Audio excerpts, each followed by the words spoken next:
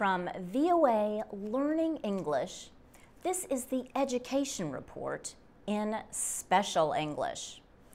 In late December, funerals took place for the shooting victims in Newtown, Connecticut, where 20 year old Adam Lanza killed 20 children, six educators, and himself. Officials say Adam Lanza used guns owned by his mother, who he also killed during the shooting. The incident was the second deadliest shooting at an American school.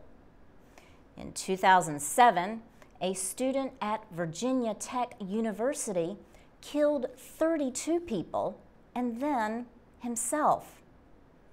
What happened in Newtown has reopened debate about gun control and issues like mental health services.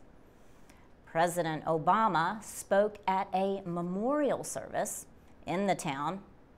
He said he will use whatever power he has to prevent more tragedies like the one at Sandy Hook he named Vice President Joe Biden to lead a team to develop proposals to reduce gun violence.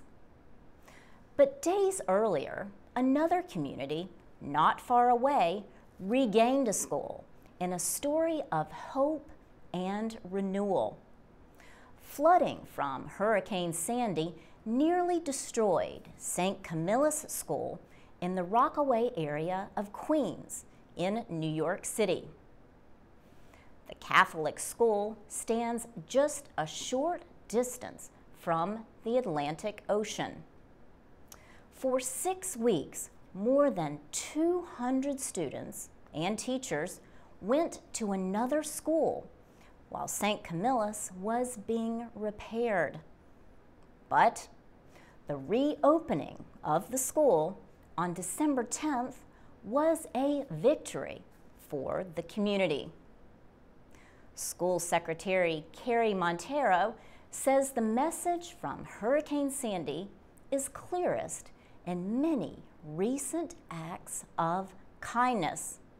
She said people from Connecticut, California, and Brooklyn, New York all offered help. For VOA Learning English, I'm Laurel Bowman.